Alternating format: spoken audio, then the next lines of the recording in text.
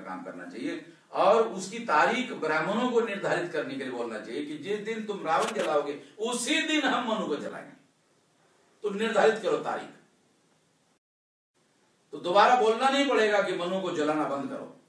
मनु को जलाएँगे तो या रावण को जलाएँगे तो उनको मालूम हो जाएगा आज मनु भी जलेगा। तो मैं इस ओपिनियन का हूँ, मगर समय नहीं है आते ही ये काम शुरू कर देंगे।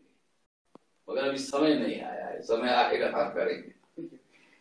सर एक और सवाल बहुत अहम है। तैयारी किए बगैर कोई भी काम करना आत्महत्या करने के बराबर है। सर एक और सवाल दिमाग में आ रहा है।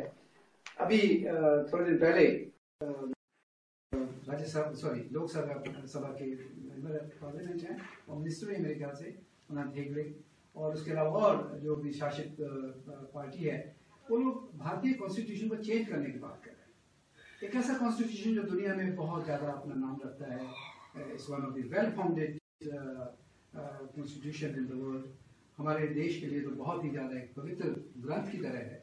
तो उसको चेंज करने की जो बात हो रही है, क्या आप सोचते हैं कि इसके चेंज होने से हमारे समाज के ऊपर, दलित समाज के ऊपर इसका प्रभाव पड़ेगा और पड़ेगा तो कितना प्रभाव पहले तो हमारे लोगों को थोड़ा राजनीति समझने के लिए थोड़ा मैं अनुरोध करूँगा कि वो थोड़ा राजनीति समझने की कोशिश करें।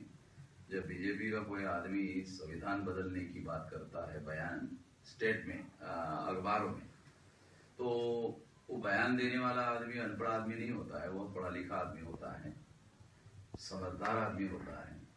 कैलकुलेट करके स्टेटमेंट मेरा ऐसा बयान देने से ऊँचे जाति के वोटों का ध्रुवीकरण बीजेपी के समर्थन में होगा? अच्छा ठीक है। तो तो ये बयान संविधान बदलने के लिए नहीं देता है। ये बयान ऊँचे जाति के वोटों का ध्रुवीकरण बीजेपी के समर्थन में हो और एस सी एस टी के लोग इसका जितना ज़्यादा विरोध करें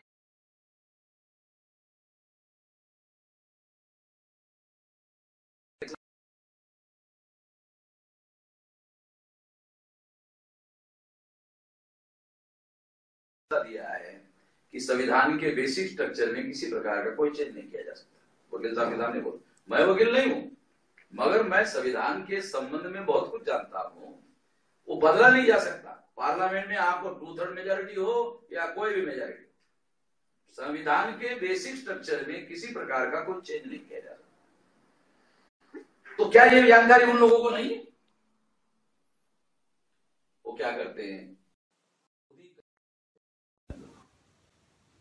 फिर आठ दस दिन होते ही इस पर कॉन्ट्रोवर्सी होती है। तो अभी मकसद पूरा हो गया है। अभी बोलो कि पीछे ले लो। तो होता है कि नहीं, पीछे लेने के लिए दिल्ली से बयान दे दो। नहीं, उसका व्यक्तिगत इंडिविजुअल ओपिनियन है, वो पार्टी का ओपिनियन पंद्रह दिन के बाद में पार्टी, ऐसा कहती तब तक वो कंट्रोवर्सी होने देती है मीडिया में चर्चा होने देती है टीवी पर चर्चा होने देती है, जो ध्रुवीकरण करना है, वो वो भी कर लेती है। सारा मकसद पूरा होने के बाद दिल्ली से स्पोक्स पर्सन जो है बीजेपी का बयान देता है। वो उसका इंडिविजुअल ओपिनियन है पार्टी से राजनीति है? ये राजनीति हम लोगों को थोड़ा समझना होगा। क्योंकि हमारे लोग राजनीति नहीं समझते हैं। मैं गैर राजनीति हूँ, मगर राजनीति तो समझता हूँ। सर, एक और सवाल। हमारा समाज इस वक्त राजनीतिक तौर पे दिशा विहीन है नेतृत्व विहीन है। आप वामन वेशराम क्या आने वाले समय में राजनीतिक पार्टी में जाने की इच्छा रखते हैं, पार्लियामेंट में जाने की इच्छा रखते हैं? इस बारे में आप क्या कहना चाहेंगे? मेरा समाज शासन करती जमात बनना चाहिए, ऐसा बाबा साहब अंबेडकर सोचते थे। मैं भी ऐसी सोचता हूँ कि मेरा समाज शासन करती जमात बने। वामन मेश्राम एमएलए बन जाए एमपी बन जाए। Low aim is a crime and failure is not a crime low aim is a crime and failure is not a crime मेरे लिए लो एम है कि वामन मिश्रा में एमएलए बन जाए एमपी बन जाए। उससे बेहतर लक्ष्य है, वो समाज है जिसके लिए बाबा साहब अंबेडकर कहते थे कि मेरा समाज शासन करता जमात बने। उसके लिए मैं काम करता अगर वो बनता है उसको बनाने के लिए मैं कोशिश कर रहा हूँ। मेरी ऊर्जा मेरी बुद्धि पैसा हुनर समय श्रम जो भी हमारी ताकत है मैं उसमें लगा रहा हूँ। इसमें मेरा बहुत अच्छा प्रयास है सर आपका। काशी टेलीविज़न के माध्यम से आप क्या संदेश देना चाहेंगे हमारे समाज को? हमारे जो लोग हैं एक बात तो अपना सारा जीवन निरुद्देश व्यतीत करते हैं। पैदा होते हैं, फिर बड़े हो जाते हैं, शादी करते हैं, फिर बच्चे पैदा करते हैं।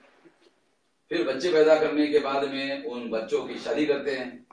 फिर उनके बच्चे पैदा होने के बाद में उसको संभालते हैं। और एक दिन बूढ़े होकर मर जाते हैं। ये जो निरुद्देश जीवन जीते हैं, ये निरुद्देश जीवन छोड़ देना चाहिए। और उद्देश्यपूर्ण जीवन जीना चाहिए कि हमारे जीवन में हम कुछ काम करें अपने समाज के लिए, अपने लिए मान, सम्मान, स्वाभिमान से जीने के लिए, हमारे समाज को अवसर मिले, इसके लिए मैं कुछ ना कुछ करूँगा। ऐसा लक्ष्य लेकर के काम करना चाहिए, एक बात तो ये। दूसरी बात एक मैं संदेश देना चाहता हूँ कि हमें दूसरों के इशारे पर काम नहीं करना चाहिए, बल्कि अपने बुद्धि से, अपने फैसले लेकर काम करना चाहिए। तीसरी बात मैं ये कहना चाहता हूँ कि संगठित शक्ति के बगैर दुनिया में कभी कोई बड़ा परिवर्तन नहीं हुआ है। वो बड़ा परिवर्तन करने के लिए हमें संगठित शक्ति का साथ सहयोग देना चाहिए। अगर है तो साथ सहयोग देना चाहिए नहीं है तो निर्माण करने की कोशिश करनी चाहिए। ये ये दो तीन बातें। This was my greatest pleasure today to have uh, Raman uh, Mishram ji with me. Uh, we had a lovely interview. मैं उनका धन्यवाद करता हूँ काशी टेलीविज़न से sir thank you so much for attending this interview